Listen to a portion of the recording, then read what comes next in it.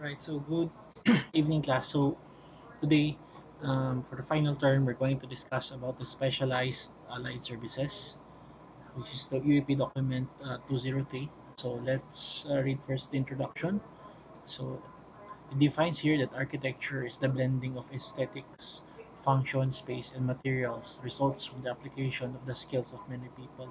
So the keyword here is it's, it's the result of the skills of many people, which means that architecture is something that is produced through effective collaboration with different uh, professionals, especially that uh, technology and um, science and engineering have come a long way.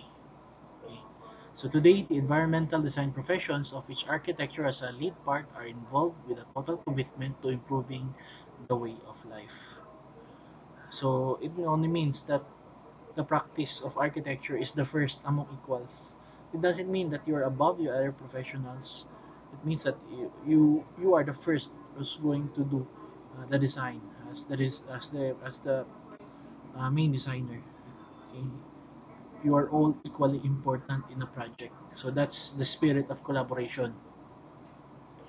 So the architect's main responsibility his client is to produce a structure that will house the activity it was intended for, is well planned, soundly constructed, aesthetically satisfying within the financial limitations of the project.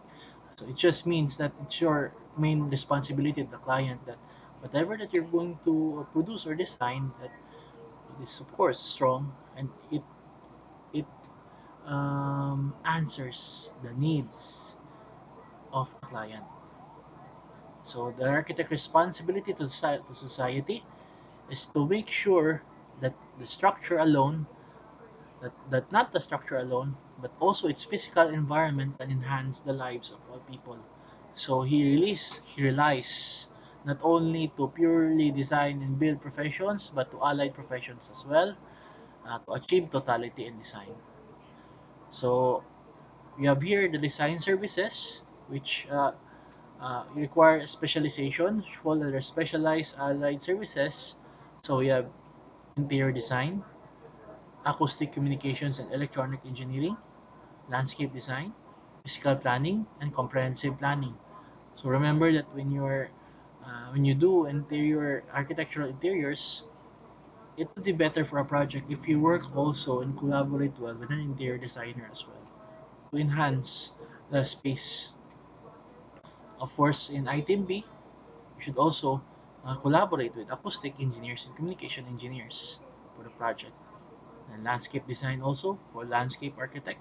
Physical planning, comprehensive planning, you, you, you work with um, environmental planners, urban planners also. So let's go into interior design services. So in the design of a structure, the architect works on a concept. For the, for the realization of this concept, the architects build structure making both exterior and interior spaces contribute to the total design concept of the structure. So he designs and develops interiors of buildings and residences such that they contribute to the physical, visual, and intellectual comforts of the users. So the expertise, depending on the complexity of the project, architect may get assistance from consultants whose advice may be needed in the detailing of interior elements. So if you have a project it's mostly on interiors, it's it's best that you work with interior designers as your consultant or your co-professionals in the design. So the scope of services, the architect, upon designing a structure, houses specific activities by controlling the spaces where these activities are to take place. The various spaces are designed to make the spa space fit the specific mood and the required activity. So due to the discovery of new products and equipment, interior design has become a field of specialization. As such, it offers the following. So these are the following that's offered by interior design. So it's in the prescription of furniture interior design finishes appropriate for different activities and spaces and prepare furniture and furnishing layout. B. Preparing the design and schedule furniture giving their dimensions, specifications, and locations. C. Assist the client in conducing bids or negotiations with furniture fabricators and other suppliers. D. Checks and approves samples of materials and shop drawings of furniture, furnishings, fixtures, and decor items. Then conducts final inspection and approval of furniture and other items. That's for item E. For the payment, for projects including extensive detailing such as furniture design, built-in equipment, and special fittings, the architect is paid 15% of the cost of work. The fee may however vary from 12 to 20% depending on the complexity of the work to be undertaken. So if the project is more complicated and as well it will depend also on your uh, credential and uh, credibility as an architect, you could charge higher than 15%. So the fee of the architect stipulated above includes the fee of the consult consultant working with the architect.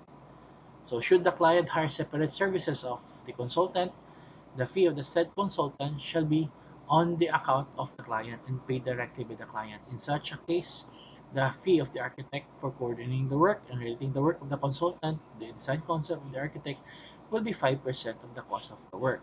So this means that if the client will hire separately, so the client will pay for the um, uh, professional fees of that consultant. And then as the architect you are um, subject to a coordination fee of 5% since you'll be working and collaborating with that uh, consultant that is hired by the client.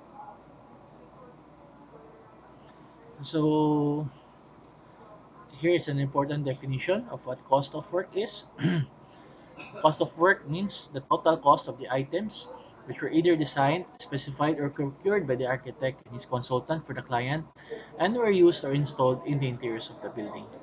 So the architect shall be paid on the following schedule. So when you uh, submit the preliminary design, that's 30% of the fee.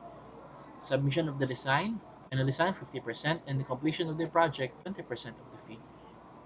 So this is the recommended fee structure when you are uh, dealing in interior design. For acoustic communications and electronic engineering services, so let's uh, discuss first this introduction. So throughout history, one of the limiting criteria in the building design has been the need to control sound in an enclosed space. Due to the continuing evolution of products and techniques in sound control, communications, and electronics, there is a wider flexibility in the design of the interior environment. Thus, the architect Together with his consultants are able to build an environment that answers the sophisticated demands of varied activities within an enclosed space. so the architect is the prime professional commissioned by the client to design the structure and all its utilities and to coordinate the works of all allied professionals involved in the project.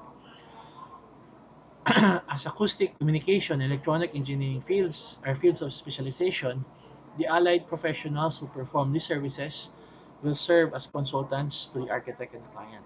So the architect shall coordinate their works, make certain that their inputs will comply to the requirements of the project and shall be compatible with the architectural design concept of the architect. So this is the most especially true when you are designing theaters. So you have to work with acoustic engineers to make sure that um, the sound system is all right throughout the, the theater. So you work uh, with them. They are going to be your consultant. Um, you're going to show them the floor plans and discuss with them. There, there's going to be a lot of collaboration. Okay. So the scope. So the architect and the consultant will prepare the drawings and specifications for acoustic designs, the acoustical treatment, to control the sound, the sound reinforcement, sound insulation, and the communication system. Then also prepare the specifications of the electronic equipment, assist the client in the bidding or negotiation of the work, check and approve sample of materials and equipment, conduct final inspection of work and equipment, assist the client to evaluate the amount due to contractor. So I think the payment, uh, let me check, uh, it's still the same. It's 30, 50, 20. So the, the payment uh, schedule for this one is just the same with interior design. It's around 10 to 15 percent.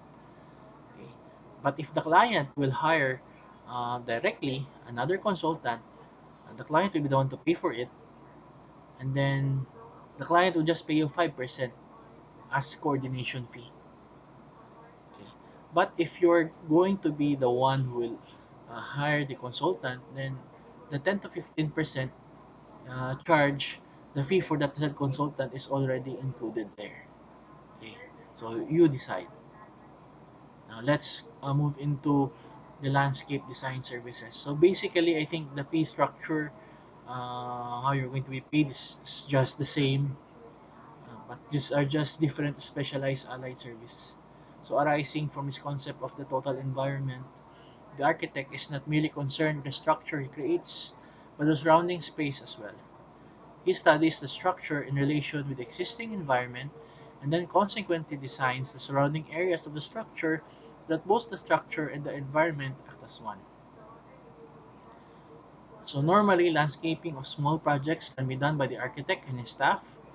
If the project, however, is big in scale, the architect may hire other professionals as consultants. So the scope of services for this one, so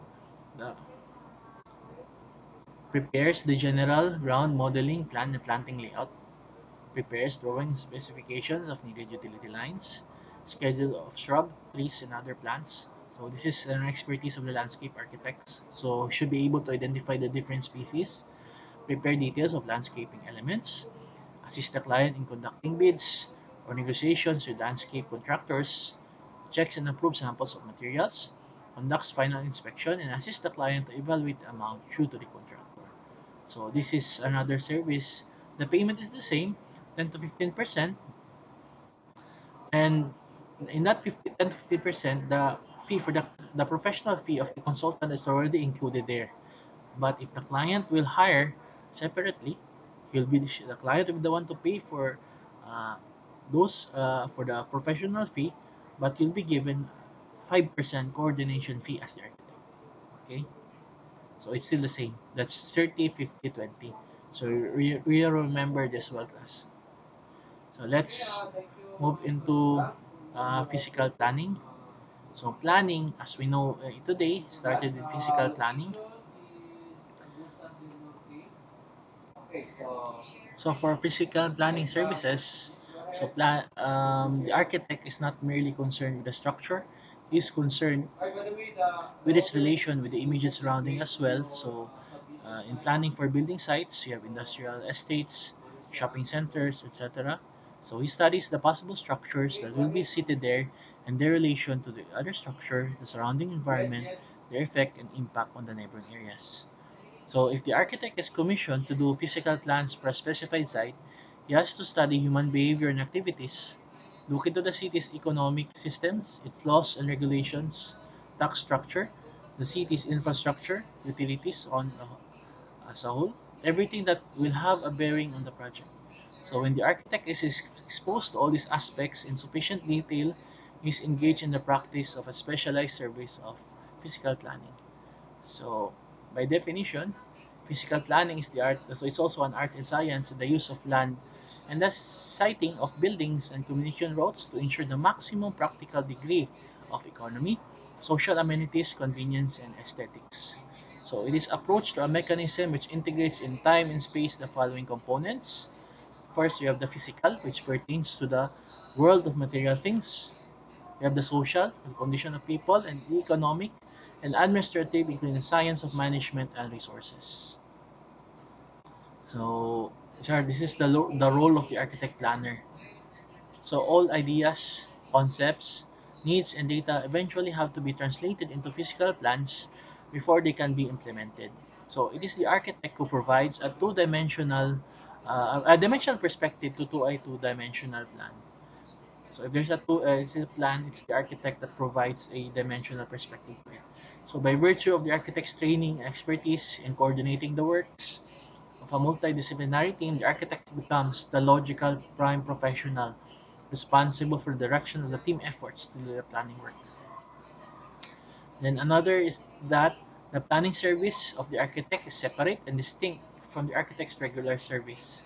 The, latter being concerned with the production of a structure, so this one, building, while its attendant sophistications and complexities, while the former is concerned with the general quality setting, the physical planning. And for people, activities, buildings, and other natural and man-made phenomena. So depending on the complexity of the project, the architect may hire additional consultants, usually looking about uh, site planners, landscape, uh, no, not landscape, we are talking about that before, environmental planners, urban planners for this one.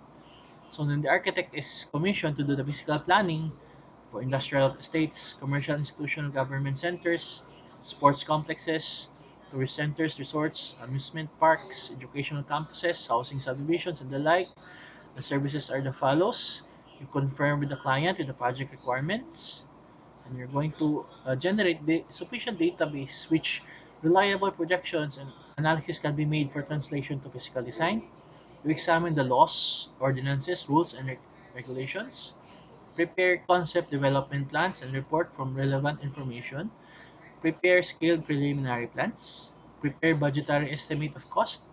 Undertake modifications, revisions, and changes as may be required. Prepare final plans, reports, and specifications.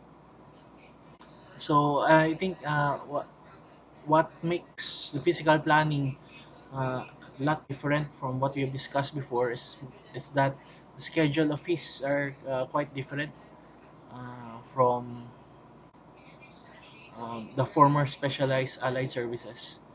So these are the types of uh, projects for this one. Then the basic rate for first 50 hectares is uh, 5,000 per hectare. Then if you're over 50 hectares up to 100, that's 250,000 plus 4 5 per hectare in excess of 50 hectares. It's 100 to 200 hectares, that's 475 plus 4,000 per hectare in excess of 100 hectares. Then if it's over uh, 200 hectares, that's 875,000 plus 3,000 per hectare in excess of 200 hectares. So I think this is still based on 1979 purchasing value of the peso.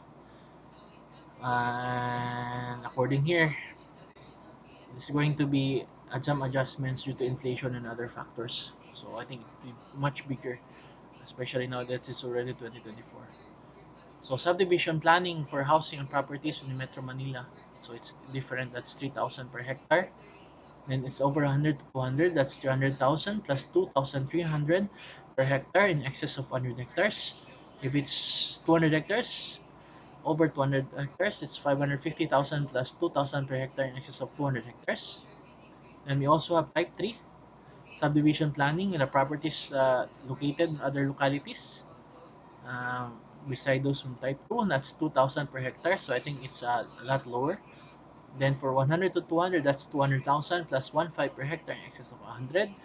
Then if it's over uh, 200, that's 350,000 plus 1,000 per hectare in excess of 200 hectares. So the rate stipulated above is based on the assumption that the land to be developed is moderately flat. If the land is rugged with steep terrain, the fee shall increase by 30%. So if the if the terrain is different or difficult, so there's an adjustment of 30%. So there's other conditions for this one. The architect may undertake the site planning of a project requiring a composite arrangement of several building envelopes a contiguous site, moderate size of 3 hectares or less. Any commission of physical planning for larger magnitude or complex structures should be done by the architect with several years of experience in planning or has additional academic training in planning. Should most importantly possess administrative, technical, managerial ability aside from equitable social commitment. So should other services be required by the project, such as environmental studies, feasibility study, market analysis, movement systems, impact analysis, and others, paid services should be performed by an architect acting as the prime professional of the team.